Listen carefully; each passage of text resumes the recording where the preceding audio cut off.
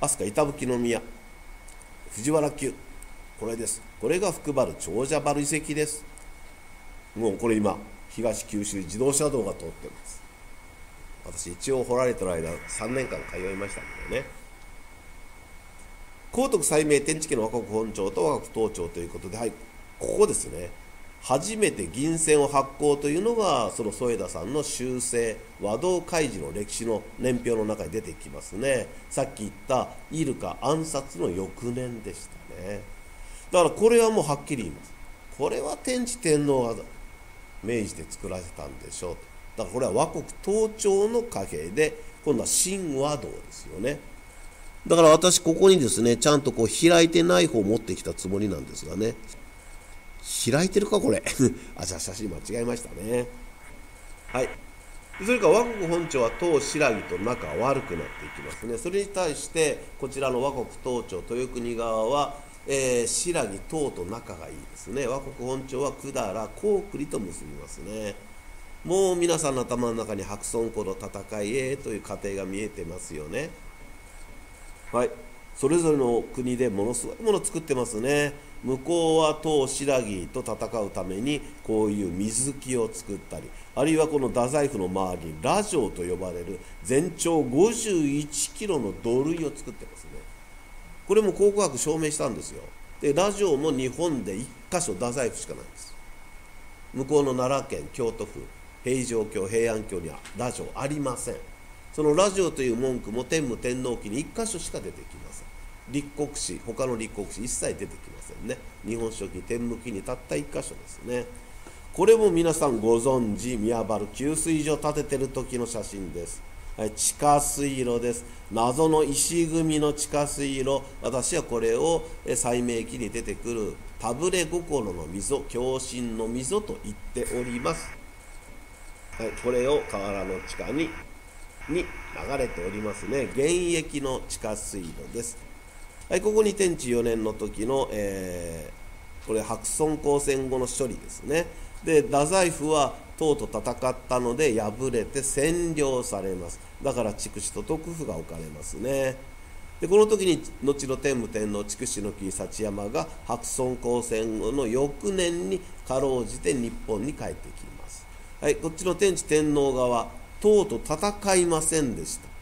勝ってもいなければ負けてもいない。唐と仲が良かったから唐の兵士たちがこの河原の宇治さっき言った宇治の宮河原麻生熊社下の小宮ヶ花の辺りまで来てそこで唐の兵士を越兵したという記録が日本書紀にちゃんとたった1行残っております。宇治に警備室だけだったらたった3文字です。たった3文字です。たった3文字の謎を真面目に解いたのは私一人です。負けた天皇さんが外国の兵隊勝った側を越兵できるわけないじゃないですか。これも世界の常識に反してますでしょ。ね。それでも NHK の番組嘘ばっかり言いますね。負けた天智天皇がね改革をしたんだとかね。それが大化の改新だって言うんですよ。まあよく言いますわ。はい違います違います。全部違います。はい。そしてその天智天皇の時に、えー、和国改めて日本と合すということで日本という国号もこの田川に始まったんですよ。いいですか？ここが日本の原点ですからね。京都や東京じゃないですよ。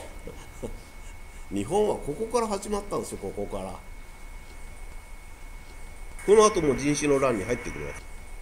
はいこちら潰れました。だからあの小さかった和国東朝がですね日本って改めましたね。日本は元小国和国の地を合わせたりこっちの和国本朝側は豊国を除けば山口から茨城まで。もうみんな治めてますもんね。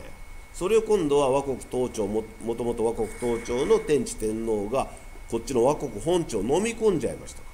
一気に九州から茨城関東辺りまでを全部一人で治めることになったんですよね。だから天智天皇知恵者ですよね。外交によって日本国のナンバーワンになったんでしょう。そしてこれが今度は人種の乱の後です。あの天武天皇が結局筑紫の側のあの非ずるとこの天使の孫で筑紫の君幸山だったとしますよね。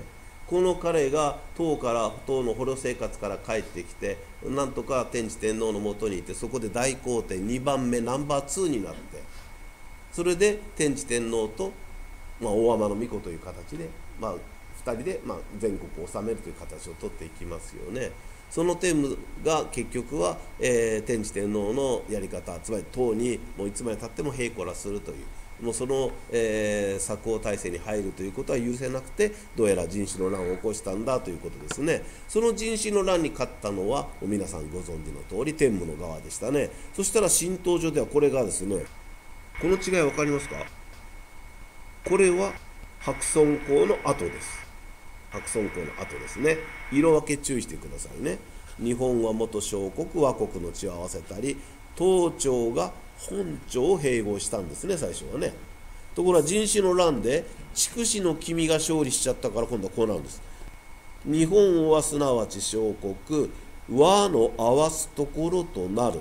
ゆえにその号を犯す。つまり天智が名乗った日本国という号を天武天皇が今度は取り返してそのまま日本国という名前を使いましたよって「新東書」という本に書いてある。この謎も今まで誰も解けなかった。で私が「いやこれ全部福岡県に起きた出来事よ」って言った瞬間にこれ解けちゃった。これくらい筑紫と豊仲悪いんです。だから今でも博多と筑豊は仲悪いんです。大体お分かりいただけましたね。博多行くと筑豊門ってやられますもんね。僕たちこそ博多門したんですよね。はい。さあ修正した和道開示の歴史まだ続きますね。さあ僕ここに書きました。日本国天武町ですよ。天武町。そこでまたですねここの682年に今度は初めて再受選詩を置くというのが出てくるわけです。おかしいでしょ。もう皆さんこれで初めてっていう文句文句何回聞きました？天智天皇のところもありましたよね。それから天野足彦日ずるところ天使もありましたよね。またここですよ。人種の乱の後天武天皇のところでまた初めて再受選詩を置く。もう明らかにこれ人種の乱の後ですね。初めて再受選詩を置くです。もう初めて初めて初めて初めてが多すぎるでしょ。いやそれだけ王権交代してるんですよ短い間。王権が交代するために新しい貨幣作られていくんですよ。だから新しい王のところでは初めてなんです。新また新しい王のところで初めてなんです。また新しい王で初めてなんです。だから和道開示には初めてが3回出てくるんです。これをこの修正した和道開示の歴史の年表をじっと眺め続けた私が11月6日以降にまた出した新たな結論なんですね。和道開示って作られ直してますよ。はいそういうことですね。これは、えーと桜井さんの文章ですがもう先ほど少しまとめましたから これ今回飛ばしますね。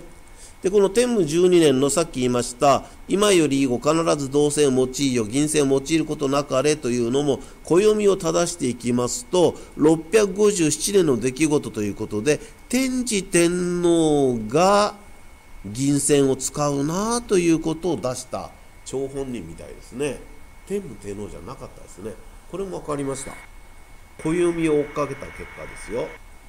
それではその、えー、どの天皇がどの天使がどの和道会示を作ったかという大きな流れ今大体お分かりいただけましたね。じゃあ今度は場所の問題です。受選所というのは大体どこに置かれたのかともう最初の地図にありましたけどね。もう一回俺確認しましょう。これです。ねはい。でまあ静止殿が一つの候補です。でそれに対してですねこの前福田会長のおかげでですね島津さんという方がえー、先ほど出たちょうど宮原給水所あのすぐ隣の木部川の川床にたくさんの銅細が沈んでいるのを見つけられてでこの前連れて行ってもらったんですよ。でそこでまとめてたった10分間でお二人であの川床降りて、えー、十数個のですね銅細拾っていただいて私は手元に持ってます。あ車に積んであります。後でお見せしてもいいですがここがこの受選市つまり和道会場を作った場所の第一候補です。ここしか考えようないですよね。もう斎道所で銅鏡であれ銅線であれ銅の製品作ったって言ったら皆さんやっぱここだと思うでしょ。